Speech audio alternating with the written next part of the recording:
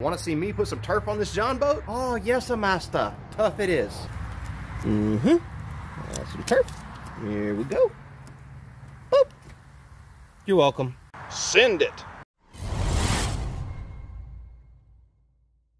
Right out the gate, let's get to the most common question that I get about this turf, which is should you spend the money and get an expensive brand like HydroTurf or one of the other ones, or can you get by with the cheapo Amazon and eBay turfs? Well, I have both cheap Amazon turf and expensive Hydro Deck, which is what we're going to be using in today's video. I have used both of these on previous boat builds, and I can tell you 100% without a shadow of a doubt, I do not recommend any turf that is cheap from eBay or Amazon. I'm not gonna stand here and tell you why. Let's go up close and I'll show you why. So this one right over here is a cheap like $60 roll of turf that I got from Amazon and surprisingly it had really good reviews when I read it and that's why I bought this stuff because I thought it was gonna be halfway decent. And we'll get to my experience with it here in just a second. But this over here is a product called Hydro Deck. They are made here locally in Acworth, Georgia. And the first thing that you'll notice is this has not been sitting on a roll for very long. This this hydroturf has actually been laying on my desk for a couple of months now, and it is still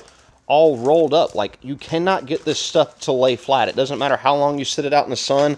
It got some kind of memory to it from being on the roll for so long. Hydro Deck, not the case at all. This stuff really just came off the roll a few minutes ago, and you can even get it in sheets if you want to, so it's not rolled up, but it doesn't have that same memory problem. The other big difference that I noticed is you look at the cheap Amazon turf, and it's not routed on the edges, it's just kind of squared off. And you look at the nicer Hydro Deck, the edges are actually, you know, kind of beveled off, so it creates a nice little look, which I like a lot better. So we'll look at the differences in the thickness in the two of these materials. You've got the cheap Amazon turf over here, 5.4-ish millimeters. Zero this back out and look at the Hydro Deck. Uh, 6.5. It is a full millimeter, maybe even a little bit more thickness than this cheap stuff over here. Now that may not mean a lot to you, but this is thicker and mo squishy, and mo squishy is mo better for your feet, especially if you're gonna be standing on this stuff all day. I'd rather spend the money and have comfortable turf than this stuff, which is not squishy at all. It actually feels like standing on a board. But here's where the real test is and the issue that I had with the Amazon turf is the crap that comes on the back of it is not all that great. This is brand new and you can see it's got all these lines and stuff where it has crinkled that sticky glue that's on the back of this, just double-sided adhesive, whatever this is. But we'll take a piece of this, stick it down here, and we'll take a piece of Hydro Deck and do the exact same thing. And you can see this one, nice and flat, super smooth like it's supposed to be. And we'll put them side by side, give them both a good press down, and watch this. I can take this and rip it right off, no problem. This,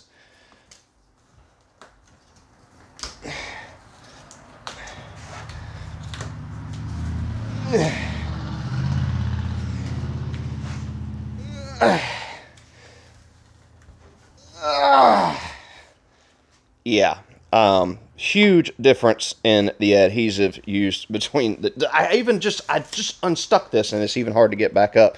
But you will actually, in most cases, rip this stuff if you apply it correctly and try to get it back up versus this, which is just absolute garbage. The adhesive on this stuff absolutely sucks. I'll even cut a fresh piece of this off and repeat it just so you know that I am not a fan of this stuff at all. Look, even the backing on this crap doesn't want to come off right. Give this one even more of a push down.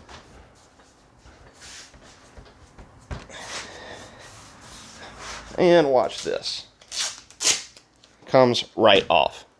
So I tried a bunch of different methods to get this Amazon turf to stick, and I just, everything I tried did not work. The, the adhesive on the back just absolutely sucks. It's not comfortable, it doesn't feel very good quality, and had I known that this stuff sucked and the reviews that were on Amazon were absolutely bogus, I would not have wasted my money, because I bought four rolls of this stuff at 60 something dollars a roll, when I could have invested in good turf from the get-go. Now, the problem with good turf is it is not cheap. It doesn't matter what brand that you look at at, whether it be Hydro Deck like we're looking at, Hydro Turf, SeaDek, all of them are very expensive. They're usually double, if not more, than what a cheap Amazon or eBay turf is going to cost. But with cost comes longevity because with the cheap Amazon and eBay turfs, they're not going to last. The biggest problem that I had with it is I would stick it on even in the middle of the summer when it's nice and hot outside with the material prepped exactly the way the manufacturer recommended and it still would not stay stuck. Usually after one or two days of being out in the heat, it was already starting to peel up on the edges. It was getting air bubbles underneath it, and it's just all around a giant waste of money. So for the 200 and some odd dollars on the four rolls that I wasted and all the time that I wasted on the Amazon turf, I could have easily just bought this stuff and have been a one and done deal. Now this video is not sponsored by HydroDeck. They did not provide me this stuff for free. I actually paid my own hard-earned cash for this material, and it was not cheap cheap. It was over $200 a sheet. But in my opinion, it was well worth it because this stuff has held up great. So the first thing we need to do before we install this stuff on the boat is we need to go get some of this turf. And luckily for me, they are right around the corner here in Acworth, Georgia. And I was able to go to their manufacturing facility and actually meet the guys that make this stuff and see what it is that they do. Now, while I wasn't able to film any of the actual manufacturing and the, the back end of what was going on here, I did get to look at a lot of samples and colors and different options that they had out on the table. They do their own custom routing in-house if that is something that you're interested in. Everybody there was super friendly and super nice, and it was really cool that they were here in my own backyard and I was able to go pick this stuff up locally. I am a huge believer in doing business local when you can. I understand that not everybody has a place like this near them, but if you are interested in giving Hydro Deck a try, I definitely recommend that you give them a call or check their website out. I've got a link to it down in the description box below. Prep work for the turf install is fairly simple. Doesn't matter if you're doing this over raw aluminum, fiberglass, wood, pick your poison, whatever you made your jon boat decking out of, it will work just fine. And the prep's going to be the same. Make sure that you start off with a good wax and grease remover. I'm using Prepsol. You could use alcohol, acetone, whatever it is that can get your surface really good and clean. Now for my boat, there's going to be some edges around my hatches and around the edge of the deck that's going to be visible and I don't want it to be raw aluminum. So I'm going to go through and scuff everything up really good, give it a really good sanding with 80 grit sandpaper. Clean it one more time and I'm going to paint everything black. I'm not using any kind of fancy paint, just some regular old whatever they had at Ace Hardware. And I'm going to shoot everything with a couple of quick coats of black just on those edges so whatever the turf doesn't cover will not look like raw aluminum. Once I was done painting, I went over everything with the wax and grease remover one more time just to make sure it was all nice and clean since I was climbing around inside the boat and I gave everything that I'm going to be sticking turf to a really good sanding sanding with an 80 grit sandpaper pad on just a regular random orbital sander. Now the sanding is not required, but it is helpful in making sure that, especially if you're using raw aluminum as your flooring and your decking for your boat, it gives that stuff on the back of the turf something to grip to besides just slick aluminum. I spent a lot of money on this turf. I want it to last, so I'm going to spend that extra few minutes and sand everything so that it can stick really well. When it's finally time to install the turf, it is super simple. Just pretend you're in a giant Lisa Frank sticker book. Start sticking the stuff everywhere. Now, a word of caution, and this is where I made the biggest mistake of this entire install, and that was assuming that the sides of my boat were straight and that when I put this first piece of turf down, that it was going to lay straight.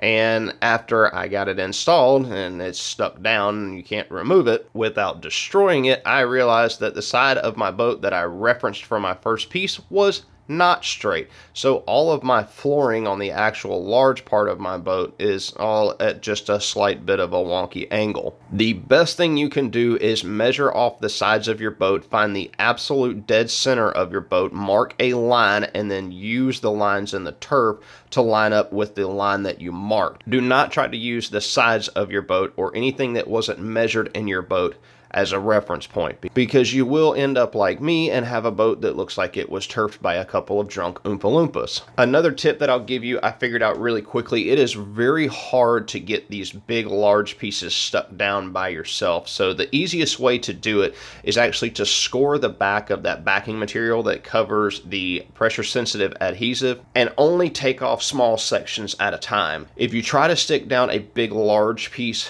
all at once, you're going to wind up it either it's not going to be straight or you're going to have an air bubble or something is going to happen. And it's just much easier to cut a small section off of that backing, put it down, get it all lined up, and then slowly start working your way out towards the other edge. Another thing I learned about this adhesive is, like I said, it's pressure sensitive. So if you just barely stick it down and don't really put any pressure on it, you can remove it and, you know, kind of move it around a little bit. But as soon as you start stepping on it or putting any kind of pressure on it or pushing it down, a stuff is stuck. And if you try to remove it, you're more than likely going to damage your very expensive turf. So make sure you got it down where you want it before you start actually pushing on it. Now for getting the final pressure, you know, kind of seating this stuff down, you probably use like some kind of carpet or vinyl roller if you have one. But in my redneck brilliance, I don't own one of those. So I used a rolling pin, which works equally just as fine. But right tool for the right job. If you can get a roller, get a roller. If not, use a rolling pin like I did. But again, make 100% sure that you've got your turf where you want it stuck down lightly before you put any pressure on it at all. Because once this stuff is down,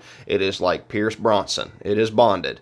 James bonded and it ain't coming back up easily. Uh, the floor on my boat is just big and wide open. There's nothing installed in it right now, so that was the easiest part of the install. The upright part of the back of the deck is a little bit tricky to get everything lined up. I was able to do it in small pieces, and I highly recommend if you can work in smaller pieces, uh, it makes things a lot easier. Cut them a little bit oversized, and then just trim off what you don't need. Now, the front deck of my boat was a whole nother story. It wasn't that it was particularly difficult difficult. It was just that I had no idea how quickly this stuff chews through razor blades. Knowing what I know now, I would have went and bought about 50 brand spanking new razor blades and about every, I'd say 10 inches of cut I made, I would swap the razor blade to a brand new fresh one. When you go to install this turf, you're going to install it right over all of your hatches and your deck lids and all that stuff, and then you're going to use the razor blade to actually cut around all of the edges of your hatches and any reveals that you need. And I very quickly learned that if you do not have a brand spanking new sharp razor blade, you are going to have a hell of a time trying to cut this stuff and make the lines nice and straight. And as soon as you see that the turf is not cutting really nice and smooth anymore, instead of doing what I did and continuing wondering why in the hell it is not cutting,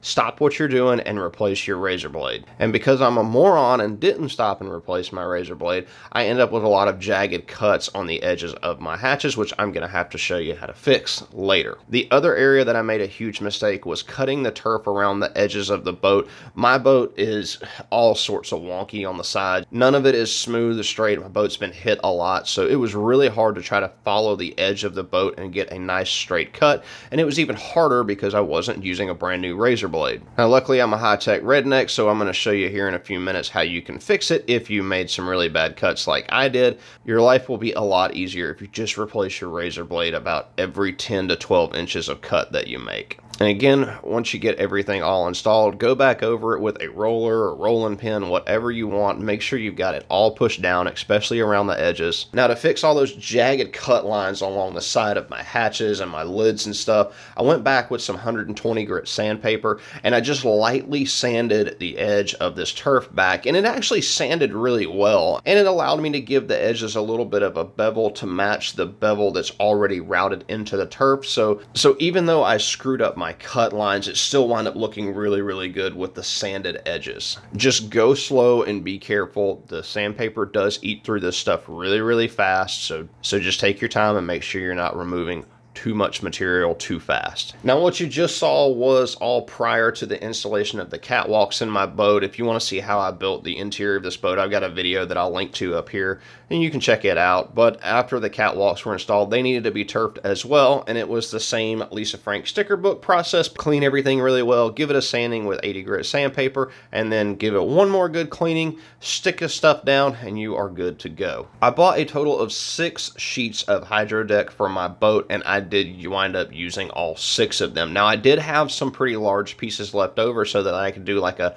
cooler lid or maybe even do a small repair job if I needed to later on down the road. So I do have some left over, but six sheets is what it took me to do my 1648 completely decked out with the two catwalks. Now, my front deck on my boat measures a little over seven foot long, and then the remainder, the flooring part of my boat was about nine foot long. So that gives you kind of a rough idea of how much turf you will need if you have a similar size boat to mine. Now, if your kindergarten teacher gave you an F in coloring because you didn't know how to stay in the lines, your cut lines on the side of your boat probably look like mine. So all of my cuts are nice and swervy like a 17 year old driving home after a long night of Zima. So I came up with a really clever idea of how we can fix this. Let's take a look at that. So what we have here is some vinyl baseboard molding. This stuff's got like a little cove built into it here on the edge, and then the rest of it's all just this little flimsy vinyl. You can pick up this stuff at Lowe's or Home Depot. It's like, I think, two bucks a piece and they're four foot long. So what we're gonna do with this is we're gonna make some trim strips that will actually cover up that ugly, nasty cut line that I have and give the you know edge of the boat a nice little trimmed out look. So we'll start with cutting this stuff. I've got a piece of half inch by half inch like C-channel aluminum here. You can use whatever you want as your spacer. So we're gonna take the aluminum, we're gonna stick it up to that little coved edge right there and we're to stick it on the edge of my workbench here and then I'm just to use some clamps to hold it in place.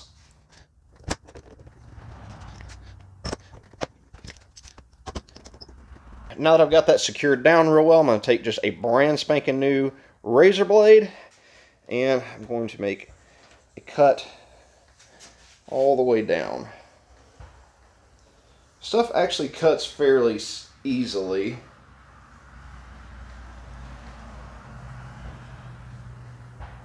There we go. Get rid of that.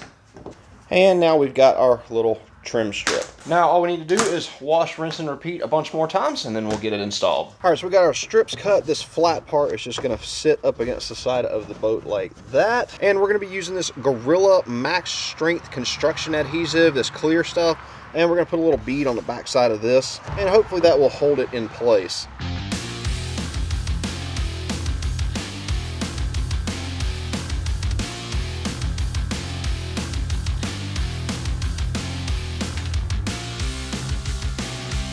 And then for this last part, I'm just going to kind of eyeball this.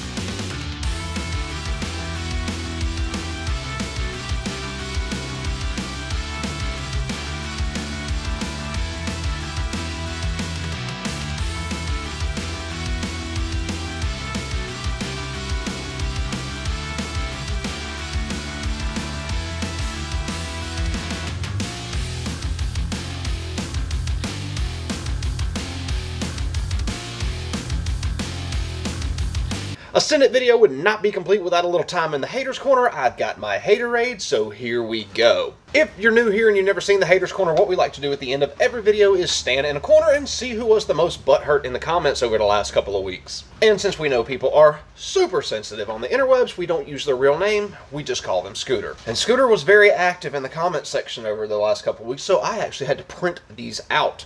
So Scooter commented on the 16-foot boat build video and he says any concern over exceeding the boat's maximum weight capacity. Boat gear and passengers is not supposed to exceed the rated weight capacity.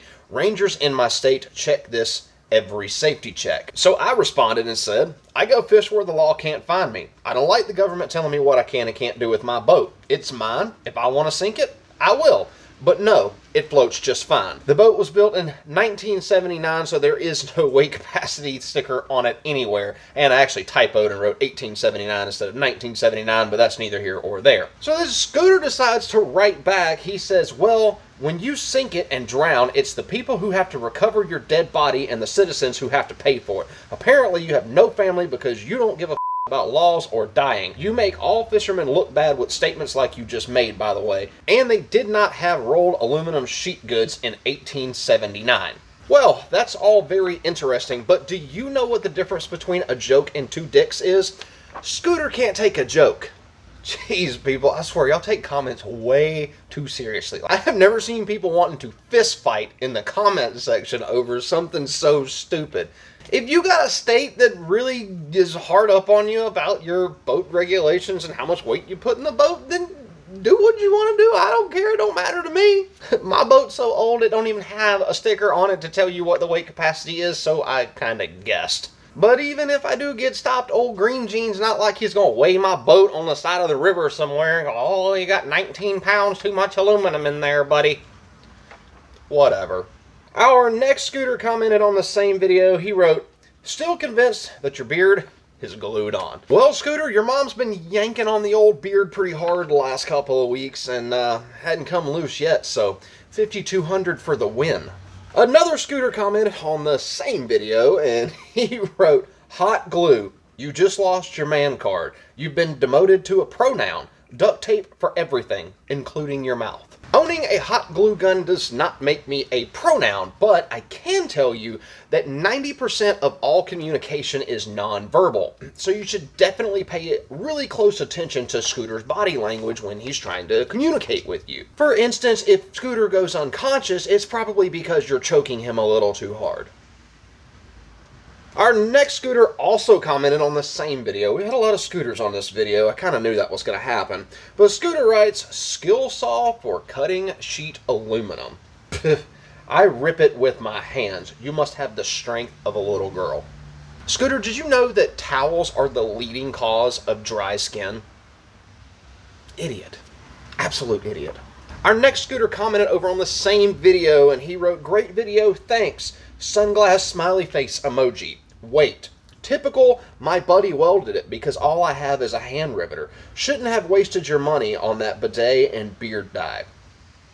First off, you want to get up close and look at all of the wonderful gray in this glorious beard from all the retarded comments that I have to read on a regular basis from Scooter, you'll see that I have never used beard dye in my entire life. And I've also never owned a bidet, but since Scooter is so into squirting water and other things up his butt, I really hope that he's more careful with his pogo stick. I would hate for his front butt to get sodomized with a metal rod. That would be terrible.